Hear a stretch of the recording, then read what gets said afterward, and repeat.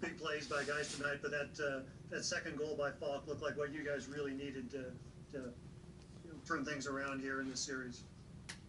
Yeah, it was obviously a big goal. Um, Jordan Kyrou did a great job of uh, negating the icing with his ability to skate, and then made a nice play on a cutback and fed Faulk.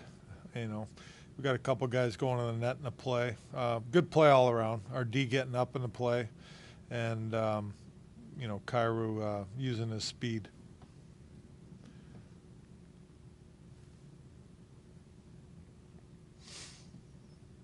Did you feel good about this game as it was going on, the chances you were creating and, and how it was playing out?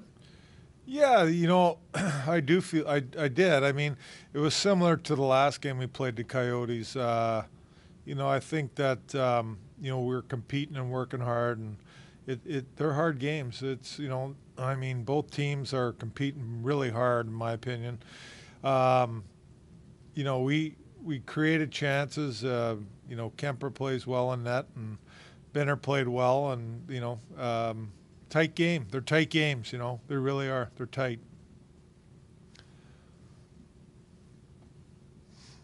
Rick, you think uh, all the work you did on special teams this week uh, paid some dividends tonight? Yeah, I mean, I think that the power play had, uh, you know, some directness to it with a shooting mentality. Um, did a nice job there, and I thought the PK did a nice job, just um, up ice. Um, you know, holding the line, killing plays, and then in zone doing a good job with being aggressive and running the routes properly. You know, shot blocking, things like that that you need on a PK to be successful.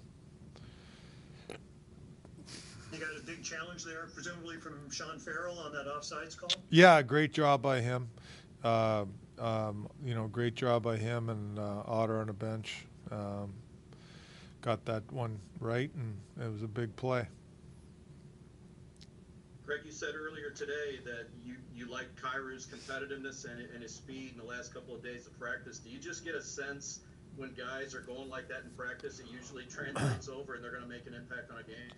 Uh, it can. I mean, I, I think that uh, he did a great job late in the game, um, using his ability, his skating ability, and uh, speed, and obviously he can make plays. So uh, he made a great play on the goal. You did a lot of rearranging of lines there at the end. Did you see anything that you liked out of those collections? You know, we'll see tomorrow. I, you know, I just I wanted more offense and trying to get some goals and, you know, just mixing it up a little bit, and that's the way you have to do it sometimes. So. Craig, anything you can tell us about Sundqvist? Doesn't look like it's anything serious. Yeah, it's uh, no, I don't think so. I think we'll uh, see how how he is tomorrow. I think he'll be fine.